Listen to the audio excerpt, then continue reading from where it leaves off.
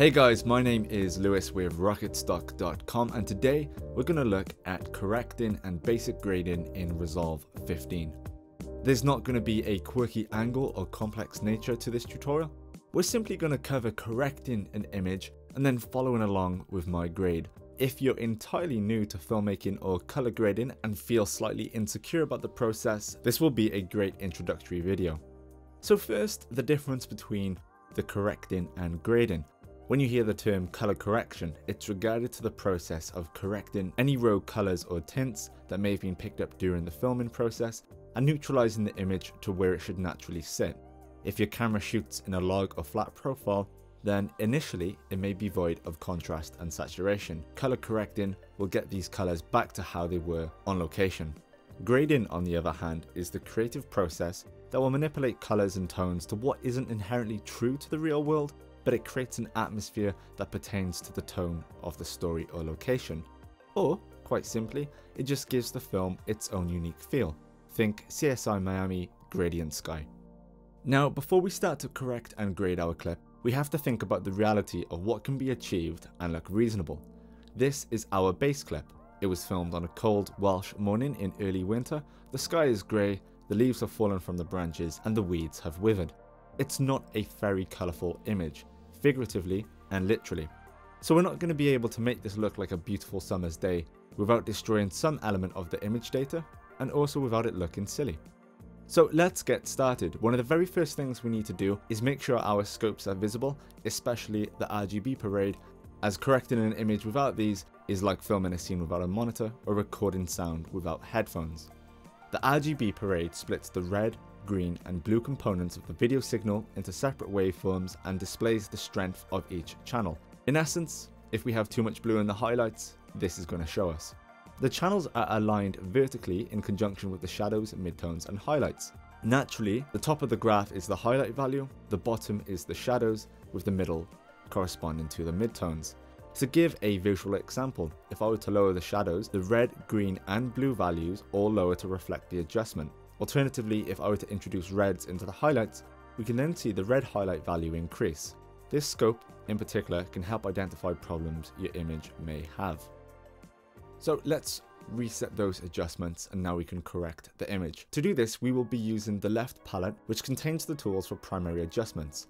In particular, the lift, gamma and gain controls. These are where you're essentially going to be spending the most time correcting and creatively grading. The controls are split by tonal regions. Lift works with the shadows, Gamma with the midtones, and Gain with the highlights. Moving the color balance indicator towards red while using the gain controls will add red to that region only. Underneath and equally as important is the master wheel, and this will adjust the brightness of that tonal region. Due to the flat nature of the recorded format, first we need to introduce contrast, and we can see that in our scopes as the tonal range is very much centered within the midtones. I'm going to lower the shadows until the lowest value just about touches the floor, and then I'm going to increase the highlights until these top values reach the top of the scope. If you ever see a solid white line in this scope, that means that there is an area of your image which is pure black or white and has no image data. In other words, you've overexposed or underexposed your shot and no amount of correction will bring the detail back. Now we have fundamental contrast to our image and with a dab of saturation, we're close to how the subject and location appeared while filming. However, there's a slight blue cast to the image. I said it was a cold day, but this blue is slightly unnatural and shouldn't be there. And again, we can see this information in the scope. The blue highlight value is somewhat higher than the red and green, and this tells us that the image isn't balanced correctly, but not to worry, it's a simple correction. Therefore, what we need to do is introduce a color that will cancel out the blue highlights. Now we could use the curves and select a blue curve and remove that from the highlight, However, I like to use the color balance wheels, and what we need to do is introduce a color that will cancel out the blue highlight. And when we look at the color wheel, we can see that the opposite of blue is the red hue region. So I'm going to very slightly, and slightly is the operative word, push towards the red hue until we have balanced highlights. It doesn't have to be perfect and dead on the number, but near enough will help balance the image. And in fact, I can now see the highlights have a little more room, so I'm going to increase those again. So I would argue that this is pretty much how the location and subject looked when I was filming. If I open the vector scope and quickly qualify the skin, I can also see that it doesn't require any adjustment before grading. If this was for a generic YouTube clip that we wanted to be live within a moment's notice, then we could send this to the delivery page. But if it's not for a vlog or b-roll and it needs some creative application, now we grade the image. Color grading is an interesting area to teach because to some extent, you can't. Primarily for two reasons. To a certain degree, it's an art form which requires practice and a keen eye for color. And secondly, the specifics of every image are entirely different. You could follow my steps to the decimal and implement them on your clip, and the grade would look different. In fact, if I was to shoot this exact scene two hours later and apply the grade I'm about to do, it would look different because the color values from the original image would differ due to the change in daylight. With color grading, the concept is very much based on theory, and while I can't fully explain the theory aspect in just a handful of minutes, I can show you the practical elements of grading, so when you do understand the theoretical aspect, you'll know the basics of implementing your knowledge. But before we do, let's have a look at some of the basic tools available. We've already used the color balance wheels, but underneath we have a further selection of primary corrector tools, such as saturation and contrast, or if I go to the second submenu, we can see that we can change the temperature and tint. To the right and in the center palette, we have an abundance of different tools such as curves, blur and sharpen, tracking, and so on. Today, I'm only going to be using the qualifier, power windows, and tracking. The qualifier could be the most important tool we have in our arsenal. Now, it doesn't necessarily grade an image by itself, but what it will do is isolate an individual color for a specific adjustment.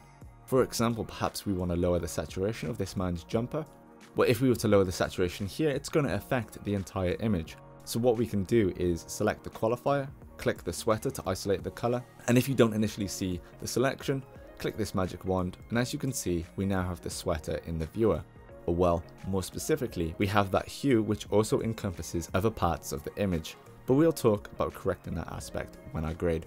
It's also important to recognize that a lot of elements of grading work in tangent. You'll obtain better results when using complementary colors, but of course, this is also dependent on the base colors available on location. This is why set design and costume is important. So now for the creative aspect. This scene is for a theoretical crime drama. Overall, I want this scene to be cold, the skin tones to remain neutral, and we're going to add a little creative flavour to the sky in the vein of Hannibal and True Detective. First, I'm going to create a parallel node instead of a serial node. A parallel node essentially lets you apply overlapping adjustments at a single stage of the node graph. I'm using one to cool the entire composition and one to maintain the skin tone. Now you could do this with a serial node and apply the skin tone first and then the cold adjustment second, but when I do change the entire composition to be a little bit colder, I do find it easier with a parallel structure. First, let's give this a chilling look. When you want to adjust the overall tone of a correctly exposed image, you ideally want to be moving the colors within the midtone region because as we can see on the scopes, that's where the majority of the color information sits. Therefore, I'm going to take the midtone color wheel, which is gamma, and introduce a touch of blue, just a touch. This already looks a lot grimmer than the initial image, a lot colder, we could in theory also change the temperature to make it cooler, but that will alter the white balance of the entire image, which is a bit different than just adding blue to the midtones. Next, I'm going to hop to the node above, and we want to maintain the skin tones against our cold grade. If we open the vector scope and activate the skin tone indicator, it'll give us an indication of where the skin tone should be.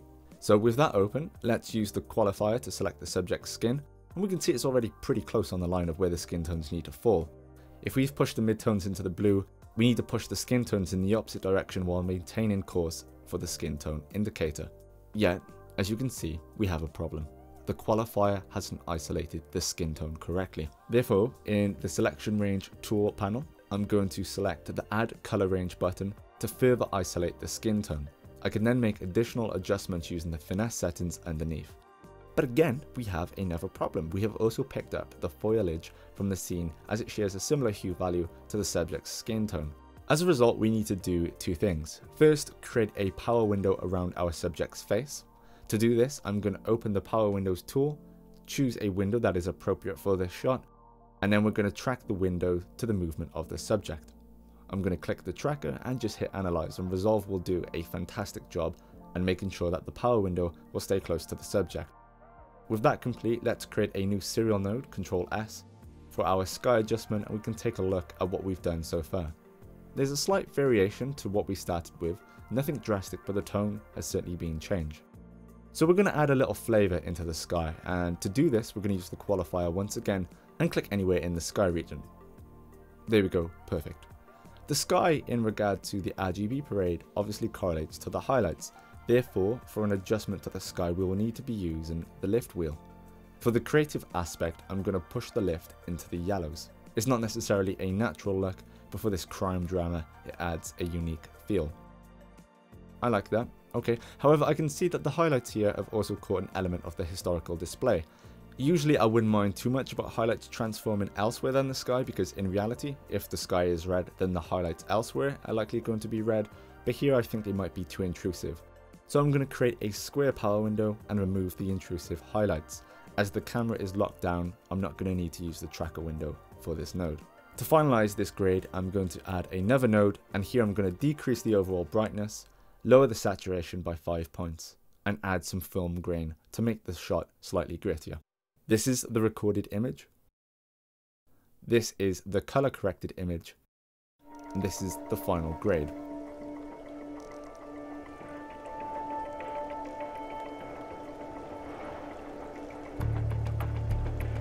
Some may question the need to correct an image when just a few moments later we gave the sky a yellow tint and made the image colder. You need to think about correcting the image as you would lay the foundations of a house.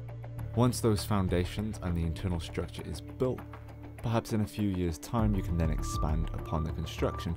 The same goes for color grading. If you were to grade an image without first correcting, you'd find obtaining a correct skin tone a troublesome process. Through this tutorial you now know how to basic color correct, and hopefully you should have some key tips on color grading. Remember to subscribe and stay tuned for more color grading tutorials in the near future. Until next time.